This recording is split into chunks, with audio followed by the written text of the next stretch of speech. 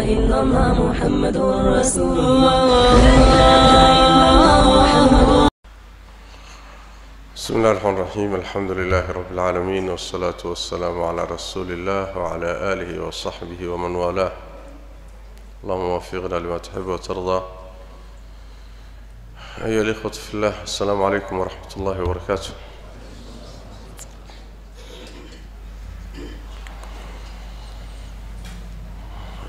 الله تبارك وتعالى يا مهد اسكاله مساجد كان نو كلميي صلاة المغرب بين الله ينغا قبلو. صلاة العشاء ايا سغينا الهي نبد قليها انو غارسيو أنا نغا قبلو. كلمه كوبن ايا إن شاء الله ان شاء الله تعالى ان أنا نغا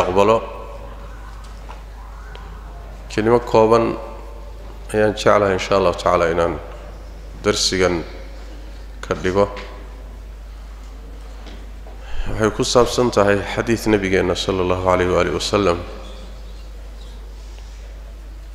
uu leeyahay halaathun munjiyaat wa halaathun muhlikaat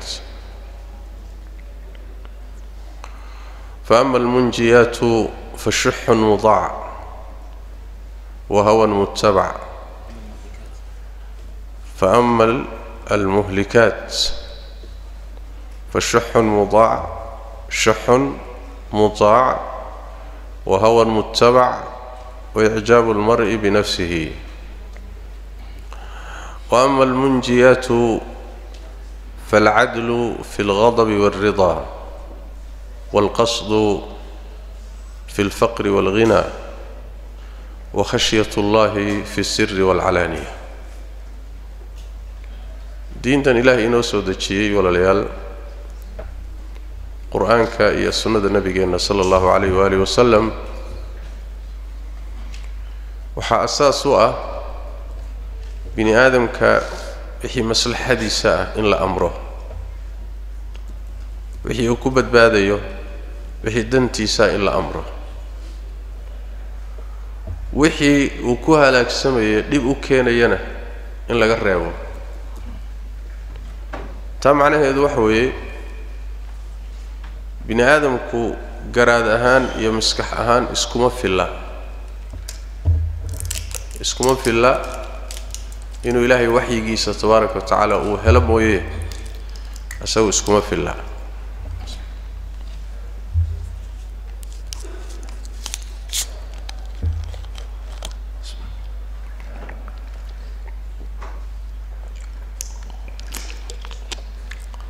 mar walba wuxuu u baahan yahay inuu helo ilaahay tabaaraka wa tacaala tawjiihiisa in la hago wax la tuso in la yidhaahdo meeshan halis baa ku jirta meeshan maslaxa ku jirta. Hadduu taa waayo ibni aadamku garaadkiisa iyo maskaxdiisa kuma filla waxaa ka tan badanaya hawada naftiisa shaydaanka. Waxyaalo kalaa jiidanaya hadduu waayo ilaahay sharcigiisa tabaaraka wa tacaala. Sharciguna wuxuu u badan yahay laba qodob buu ku fadhiyaa. Waxyaalo la is-amrayo iyo waxyaalo la yska reebayo. Waxyaalo la is-amrayo baa waxay u qaybsamaan wax amarkoodu waajibiya iyo wax amarkoodu uu sunnaya waxyaalaha la yska reebayana waxay noqonayaan waxyaalo xaaraan ah iyo waxyaalo xaaraanta ka sokeeyo mukaruhaad ay dhahaan. Yaa reebitaankooda la reebay aan aada loo sii adkaynin. Waxaa weheliya waxyaalaha mubaaxaadka ilaahay inoo banneeyey ayaa weheliya xadiidkani marka wuxuu ku saabsan yahay lix arrimood waaye. Saddex waa lagu badbaadaa saddexna waa lagu halaagsamaa nebigu wuxuu yidhi sal alla alay wasalam saddexda lagu badbaado saddexda lagu halaagsamuu ban yuu hormariyey saddexda dadka halaaga. Nebigu wuxu uhi sal alla alay wasalam shuxun mutaaca bakhaylnimo la adeecsan yahay oo ruuxii intay bakhaylnimo ku dhacdo shuxiga waxaa la yidhaahdaa waa bakhaylnimada zaa'idka ah xaddhaafka ah. Bakhaylnimaa ku dhacday markaasuu haddana bakhaylnimadii meeshuu iska daaweyn lahaa la dagaalami lahaa. Muusan yeeline iyadiibuu ka amar qaatay oo iyadiibuu raacay iyadiibuu isu dhiibay. Haddii bakhaylnimo aada isu dhiibto xaggey ku geynaysaa wa way ku halaagaysaa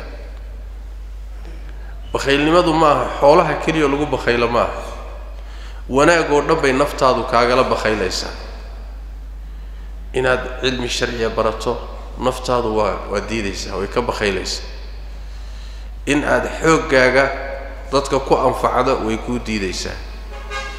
Inaad wejigaaga ku anfacdo way kuu diidaysaa. Xoolahaaga inaad bixiso way kuu diidaysaa. Shuxigu waa ka guda weyn yahay xoolo lagu bakhaylo keliya bini aadamka inta badan waa lagu abuuraa lex jeclada iyo inuu wax ceshado iyo inuu wax kaydsado iyo inuu wax reebto waa ku abuurayn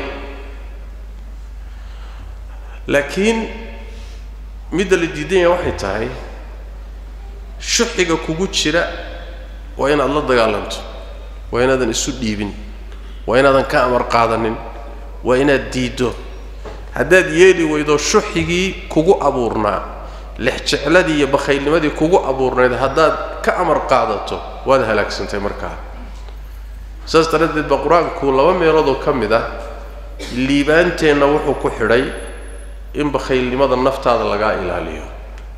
Alla wuxuu yidhi waman yuuqa shuxa nafsih fa ulaa'ika hum lmuflixuun laba meelood bay qur'aanku ku timi naftiisa shuxigeeda lex jeclada zaa'idka ah bakhaylnimada zaa'idka ah gacan adayga zaa'idka ah naftiisa bakhaylnimadeeda ruuxa laga ilaaliyo kaas unbaa liibaanay buu alla yidhi tabaaraka wa tacaala. Saas daraaddeed in aadan isu dhiibin rabitaanka naftaada.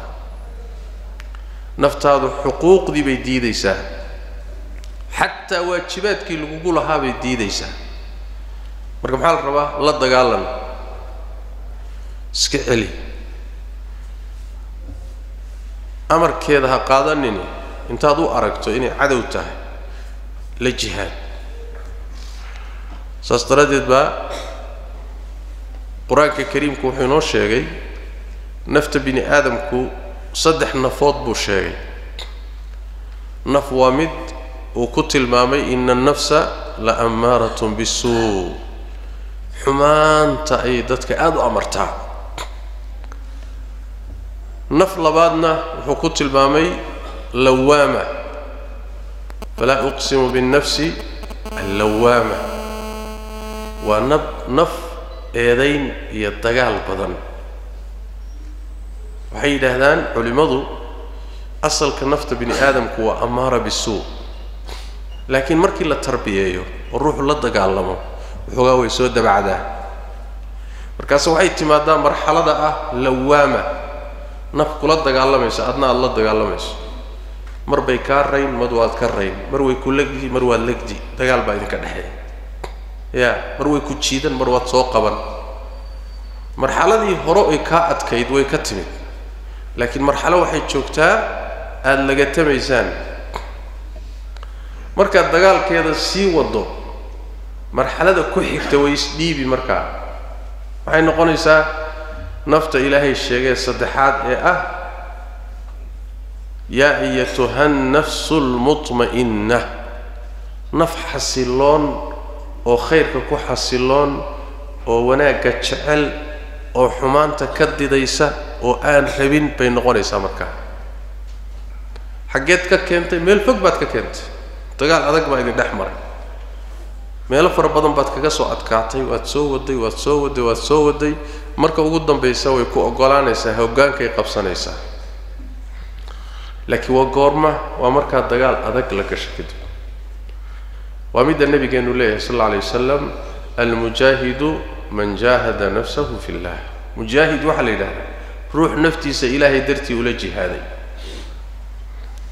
Marka hore way iska kacaabin durbe isugaa dhiibi mayso waxaad kala kulmi muqaawamo adag inay iska kaa celisay isku day laakiin markaad ku madax adeegto way dabci. Dadkuna meeshay ku kala fiican yihiin halkaas waay sidaas daraaddeed shuxun mutaac. Bakhaylnimada kugu jirta ha yeeline ka dagaalan oo la dagaalan. Haddii kale waad halaagsami qodobka labaad ee lagu halaagsamay nebigu sheegay sal lla sl ly slam waxa weye sal alla alay slam waxa weeye hawan mutabac. Hawo la raacsan yahay.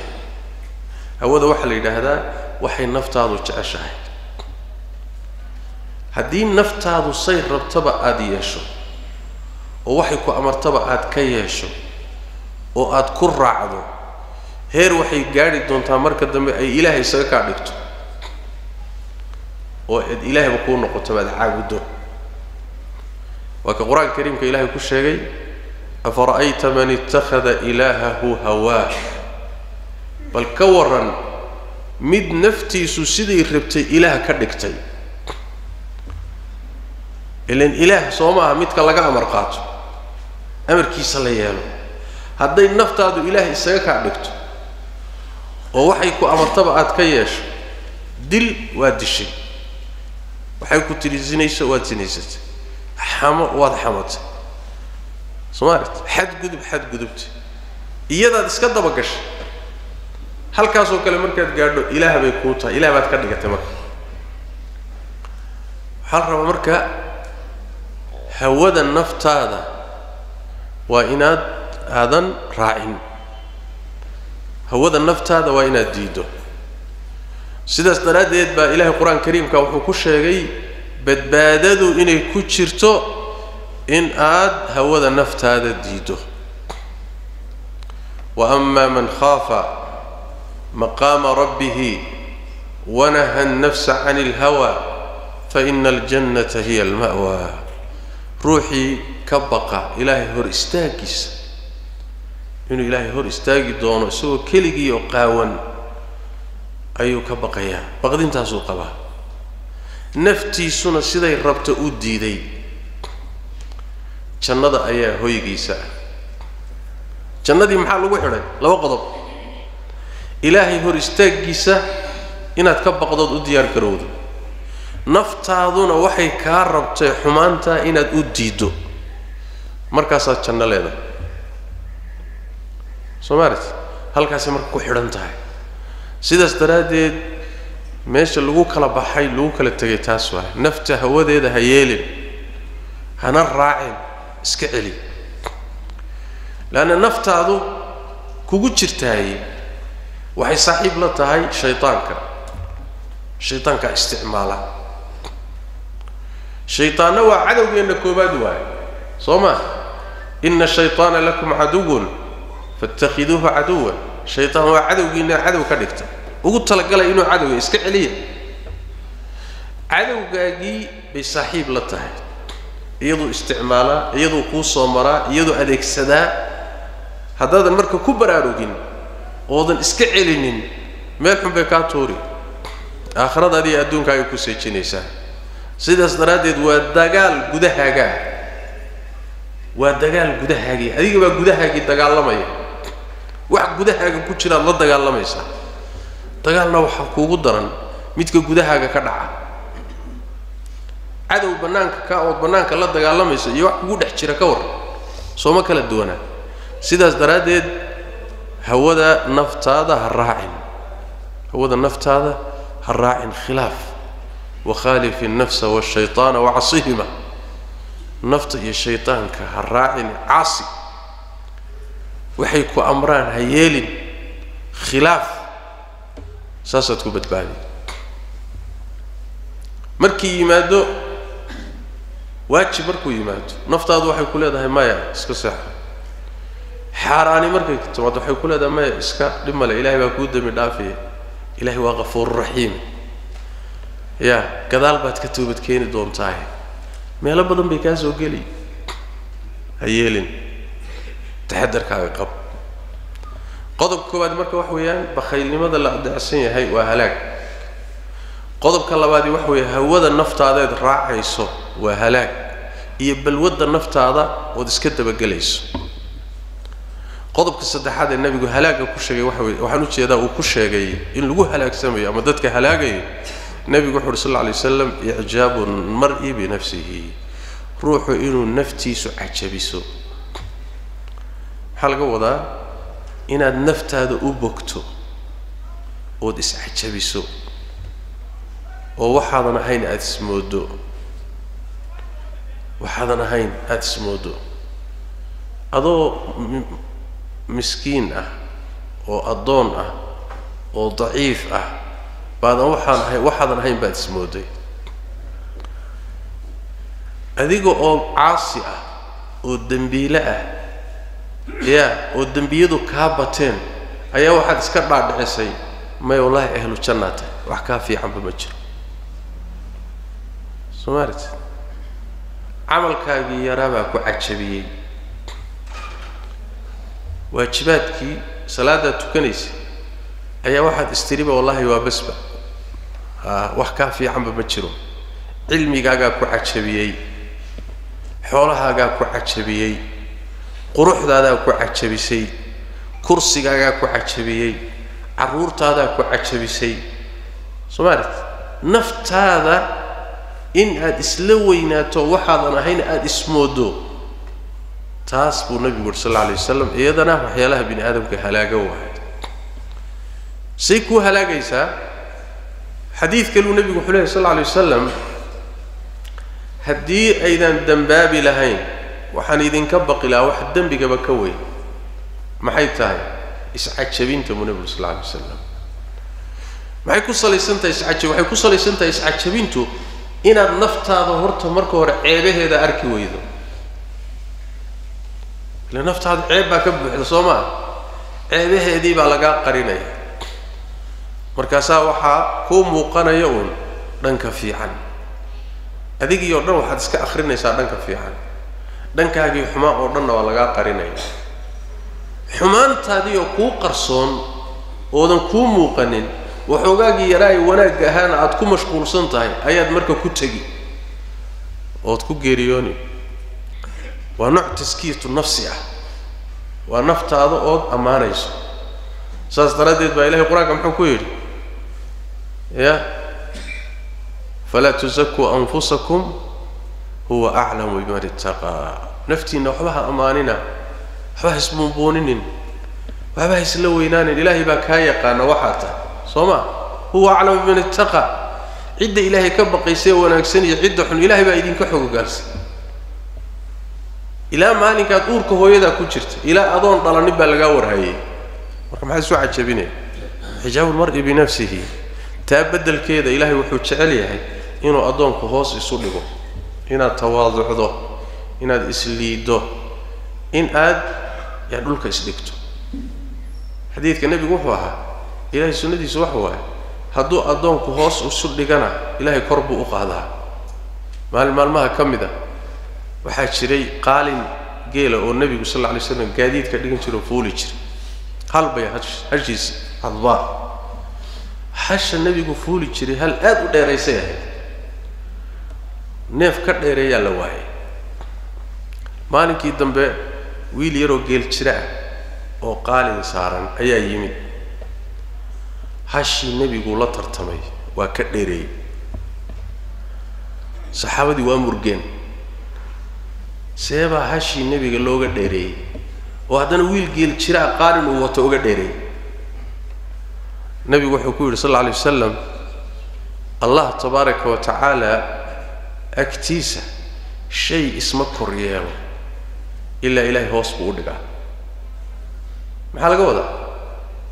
Hashanii faankeediiyo warkeedaa batay. Soo maha warkeedii baa batay lagama badin karo. Wax ka badiya waa la waayay. Ilaahay marka wuxuu rabaa hashan inuu ku soo celiyo xaqiiqadeeda. Waxa laga rumeeye waxaan ahayn in lagu soo celiyaa la rabaa. Soo maalit marka waxaa la rabaa hoos isu dhig haddaad hoos isu dhigi weydo xaqiiqadaada unbaa lagu taabsiinaa. Nabiyullaahi muusa calayhi wacalaa nabiyina asalaatu wassalaam oo ambiyaa bani israa'iil ambiyadii ninkii ugu fadli badnaa ah reer bani israiil ambiyadii loo diray ululcasmiga ka mid ahaa ayaa isaga oo dadka sidan oo kale reer bani israa'iil waaninaya wacdinaya ayaa su'aal la weydiiyey waxaa lagu yidhi muusow dhulka inta joogta yaa ugu fadli badan yaa ugu cilmi badan.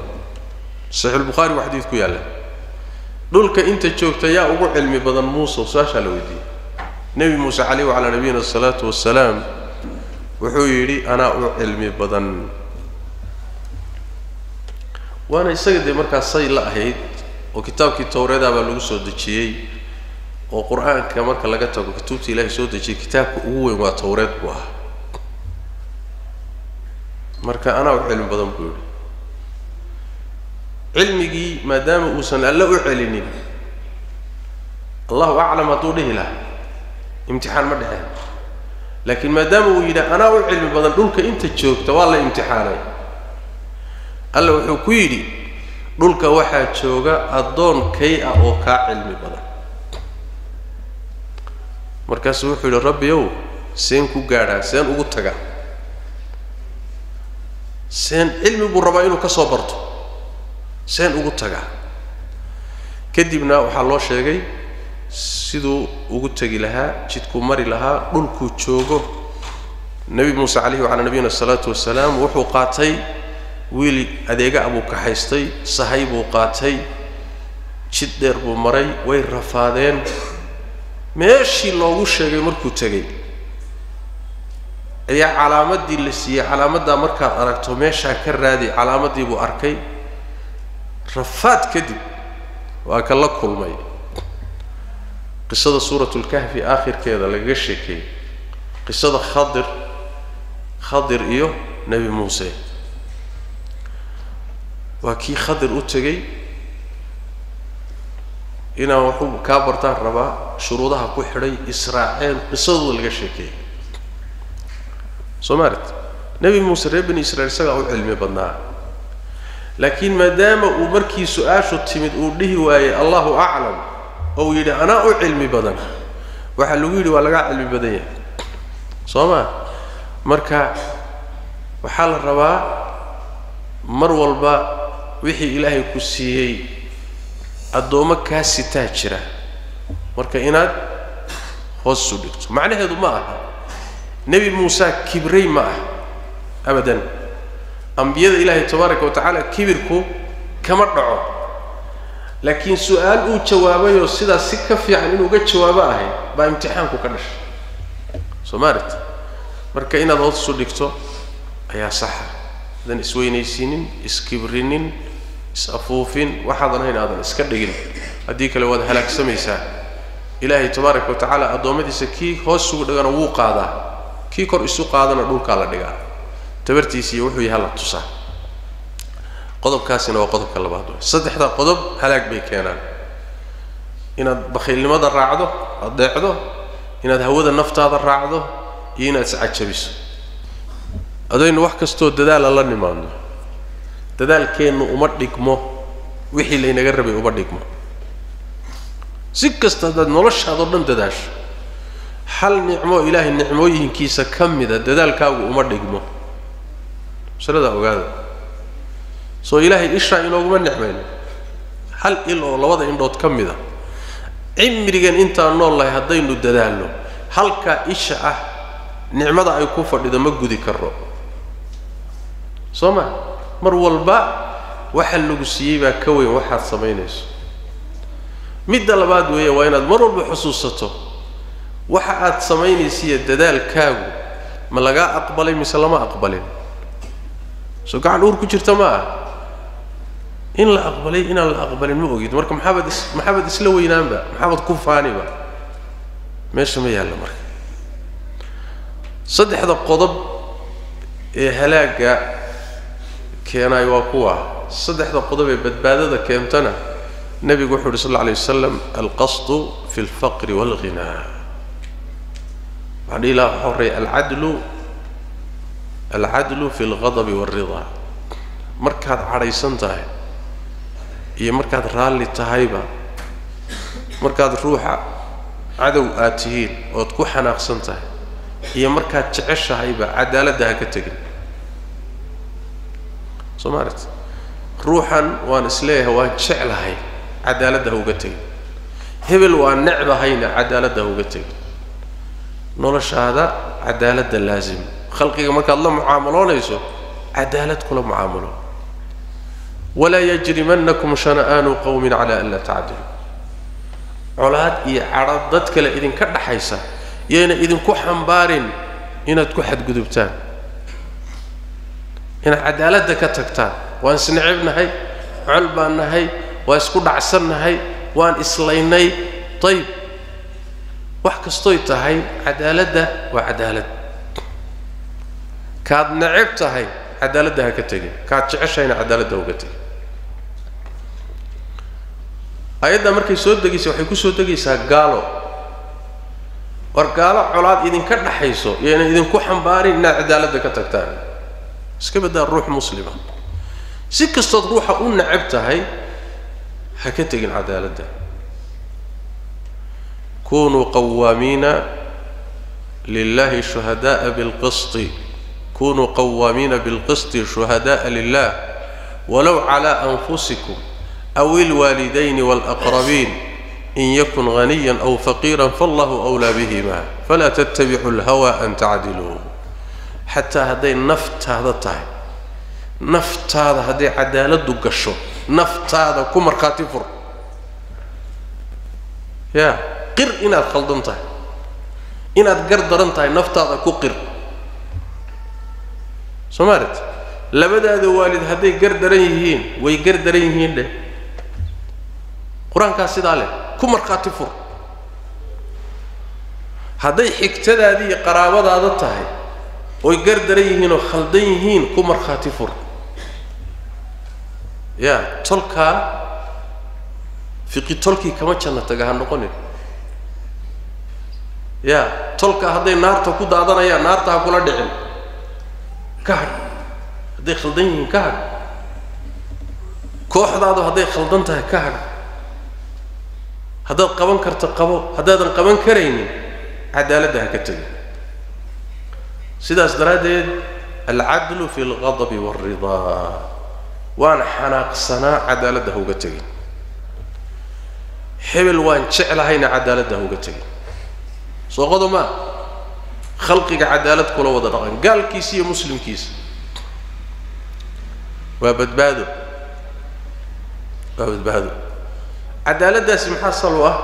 Waxaa sal u ah addoommada intaad fiiriso naftaada waxaadan rabin in lagula dhaqmo addoommada ha kula dhaqmin.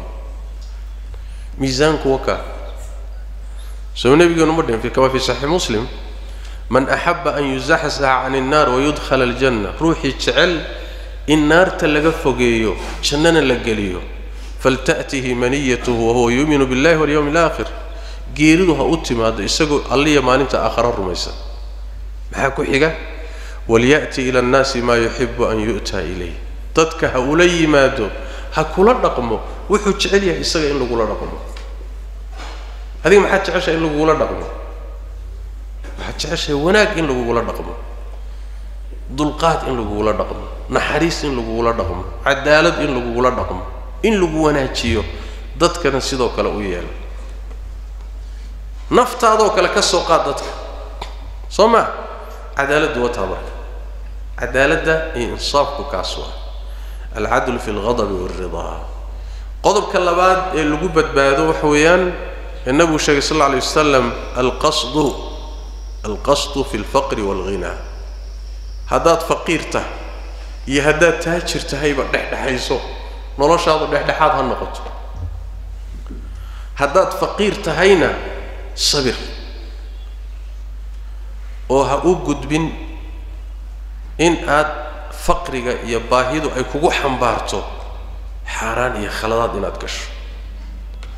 Haddaad taajirto oo qani tahayna iyadana noloshaadu dhexdhexaad ha noqoto. Oo waxaad iska ilaalisaa kibirka iyo israafka iyo xoolahoo lagu tamashleeyo iyo isla weynan iyo khalqiga xoolaha lagu dulmiyo. Iska ilaali soo maa haddaad faqiir tahayna sabir haddaad taajir tahayna shukri. Warku waa intaa. Soo maa yacani wax weeye markaa xaalad labada xaaladood baa aday ku marayaan. Waxaa ku maraysa xaalad aad baahantood faqiirtood waxba haysanin xaalad kale waxaa ku maraysa faqrigii aad ka baxdood wax haysatood taajirta. Labada xaaladoodba waxaa la rabaa inaadan ka tegin dhexdhexaadnimada middan faqriga ahna sabir midda taajirnimada ah iyo qaninimadana shukri. Oo ilaahay u mahad celi khalqigana wixii ilaahay ku siiyey ixsaan uga samee. Wa axsin kamaa axsana allahu ilayka sidii adigaba ilaahay ixsaan kuugu sameeyey khalqigan aad jeeb dhaanto eed wax dhaanto ixsaan u samee. Ilan adigaba ixsaan baa lagu sameeyey soo maa dadka lakaama jecla.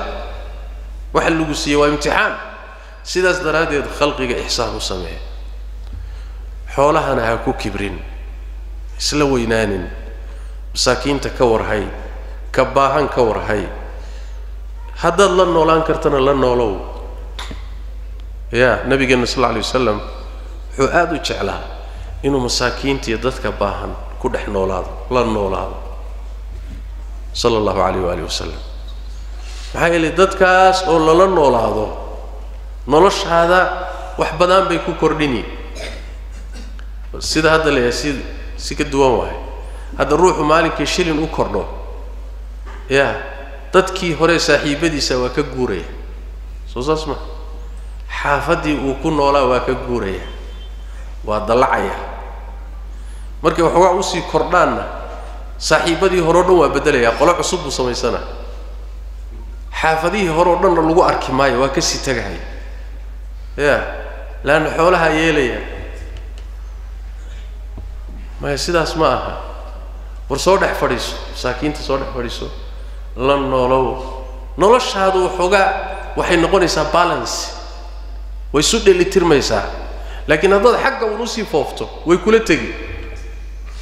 Soo maaret sidaas daraaddeed nolol dhexdhexaada noolow. Haddaad wax haysato iyo haddaad qatam tahayba ayuu nabigeenu tilmaamaya sala allahu calayh waali wasalam badbaadadu saas waay. Haddaad dhankan u dhacdana waa halaag. Haddaad dhankan u badatana waa halaag. Dhexda ku soco marka.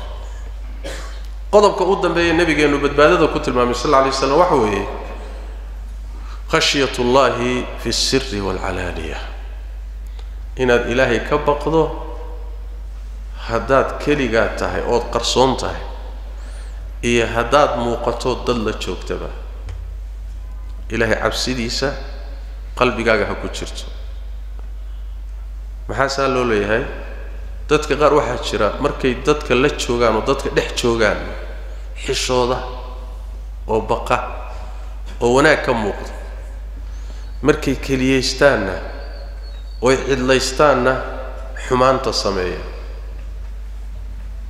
Kaasoo kale waxaad mooddaa malaha markaad dadka la joogto ilaahay ku arkayaa miya markaad keligaa tahayna kuma arka miya ya? Allah tabaaraka wa tacala xaalad walba waa ku ogyahay saas daradeed inaad mar walba muraaqabayso mar walba qalbigaaga ay ku jirto ilahay waa ku arkaa. Nabigeenna wuxuu yidhi sal alla alay wasalam oo sheegay dad maalinta qiyaamada imaan doona oo la imaan doona khayraad iyo acmaal waaweyn oo buuraha waaweyn la-eg ya? Buulaha tihaama la-eg maalinta aakhiray imaan doonaan acmaashii waaweynayd oo soon lahayd oo salaad lahayd oo xaj lahayd oo sadaqo lahayd oo khayraad lahaa ayaa waxaa laga dhigayaa sidii bus sidii busta la daadiyey oo kale. Iyaga dhan waa la saydhayaa. Wixii buuraha la ekaa waxaan jirin baa laga soo qaadayaa ooyay yihiin nebigu wuxu uhi sal alla alay wasalam waa dad idinka idinka mid ah luqadiinnana ku hadlaya habeenkiisaad u tukataanna way u tukan jireen. Salaatuleyl bay tukan jireen. Laakiin markay dembiyada la keli noqdaan yay dembiyada geli jireen. Ya markuu cidloobo ayuu qastaa dembiyada. Markuu dadka dhex joogana weli ilaahay buu iska dhigaa. Saalixa. Meesha maxaa ka muuqda marka ilaahay muraaqabadiisii baa ka maqan. Sidaas daraaddeed haddaad dad la joogto haddaad keligaa tahayba ilaahay ka xishood ilaahay waa ku arkaa meel walbee ittaqi llaha xayumaa kunta. Rabbigaa ka xisho. Nabigeenna sal alla alay wasalam ay saxaabadu weydiiyeen rasuulka ilaahay ow maa na'tii minha wamaa nadar. Cawradannada maxaan muujinnaa maxaanse qarinnaa nebigu wuxuu ku yidhi sal alla alay wasalam cawradaada yaysan arkin ilaa xaaskaaga iyo addoontaada mooye. Markaasaa wuxuu yidhaahda rasuulka ilaahay oo ka warran haddaan keligay ah. Keligay haddaan ahay dharka ma iska dhigan karaa? Ma nebigu wuxuu yidhi sal alla alay wasalam faallahu axaqu an yustaxyaa minhu min annaas ilaahay baa cid walba ka mudan in laga xishoodo. Soo maa qolkaaga degan tahay keligaa markaad ku jirto kuu xidhan yahay. Inaad calallada dhan dhigatood isqaawiso oo yaa ku arkaayo il bini aadanoo ku haysa ma jirto laakiin allah mudan inaad ka xishooto. Soo saas maa saas daraaddeed haddaad keli tahay iyo haddaad dad la joogtaba ilaahay tabaaraka wa tacaala ka baq oo qalbigaaga ha ku weynaado oo wixii uu rabbi raalli uusan ka hayn iska ilaali wixii rabbi jecel yahayna ku dadaal qodobadaasi saddexda ah iyaguna waa badbaado. Kulligoodna waxay ka hadlayaan nolosheennay ka hadlayaan. Waxyaalana waxyaalo dhib leh waxyaalo waxyaalo dheef dheef la waaye waa dhaqamo waa akhlaaq wanaagsan waxna waa akhlaaq xun waaye marka tawfiiqda allah waafajiyo. Ilaahayna tabaaraka wa tacaala asbaabta lagu halaagsamo haynaga ilaaliyo. Asbaabta badbaadadana ilaahay tabaaraka wa tacala hayna waafajiyo.